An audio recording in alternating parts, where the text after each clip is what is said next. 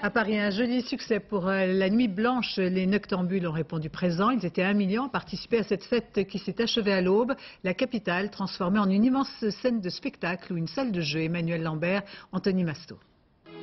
Comme un diamant étincelant, le cheval de Troie trône sur son piédestal cette nuit. Il fallait patienter une heure et demie pour l'apercevoir, une minute seulement. Une sculpture impressionnante, 3 mètres 50, près de 100 miroirs qui se reflètent dans la cour du crédit municipal.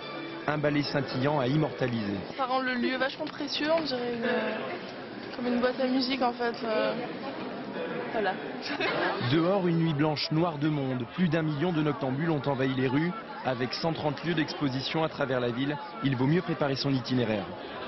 On est venu ici et maintenant euh, on va voir où c'est qu'on va se déplacer. Euh, vous voyez, on suit le plan. Touriste complet, on est de Montpellier, on débarque. Orangerie, tapis vert, appartement de la reine.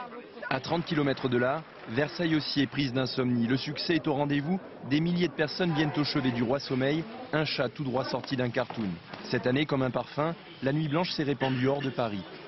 La nuit blanche faite euh, à Versailles, au Lilas, ou bien à Montréal ou à Rome, eh bien c'est une version nouvelle aussi de Nuit Blanche.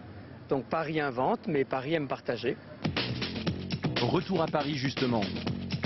Drapé de bleu, l'Opéra Garnier offre un concert oriental. Dépaysement garanti.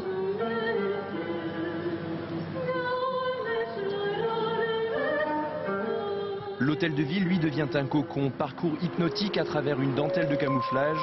L'art contemporain est célébré sous toutes ses formes. C'est une excellente idée pour des gens qui, euh, qui, viennent dans des lieux euh, qui ne visiteraient pas normalement. Et, euh, et puis même juste l'histoire de, voir différentes choses, des films, des petits trucs, c'est marrant quoi. Les plus courageux ont rejoint leur lit vers 8h ce matin, en quête de nouveaux rêves et d'un peu de sommeil.